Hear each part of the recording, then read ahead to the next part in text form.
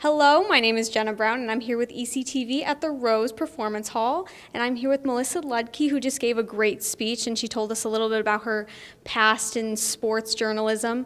Um, and you just wrote a new book, and you were telling us about how it has to do with women and gender stereotypes in journalism, in sports, and everything. Could you tell us a little bit about what you hope to, you know, tell people with about the book? Well, I'm actually, I'm actually still writing it. It isn't out yet, but it will be out, um, hopefully in the next year or two, depending on how quick I write it. But essentially, I'm going back to my own experience back in the mid 1970s when I was the only full time uh, woman covering baseball, Major League Baseball, at the time, and ended up not through my choosing in a court battle uh, with the baseball commissioner, Bowie Kuhn. And that came about during the 1977 World Series, when, after getting permission from both teams to enter their clubhouses, which I had a credential allowing me to do, he took his um, sort of uber authority and decided that he would ban me not only from both of those clubhouses during the series, but he threatened to say that that would be a forever ban on all teams in baseball. And he believed he had the authority to do that. Um, after trying to negotiate with him for several months and finding no give at all on his side, he was steadfast that this was never going to happen under his reign. And I say reign because he was basically the king of baseball. Um, we had no choice but to go to federal court. And we went to the Southern District Court in uh, Manhattan, a fairly famous courthouse. And out of the 25 judges that were on that uh, bench at the time, through a random lottery system, we drew the only woman judge, Judge Constance Baker Motley. And um, she had been the first woman in the 250 years of that, of Southern District Court, which is the mother court of our country, um, to sit on that court. So she, by random, became our judge. And um, we were successful in arguing our case before her. And so her decision, which baseball threatened to appeal, they ended up in the end deciding not to appeal after a three judge appellate court uh, ruled against them.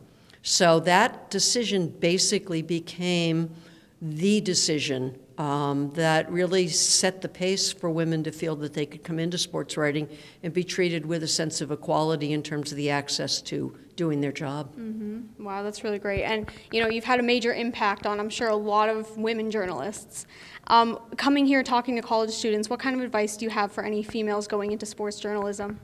Well, I ended my talk today um, essentially on the note that there is a lot of equality of opportunity now, in part because of my case, in part because of the work of, of many women, um, you know, who have come through my era and others. But really, we still see that women leave sports writing uh, sooner than men do.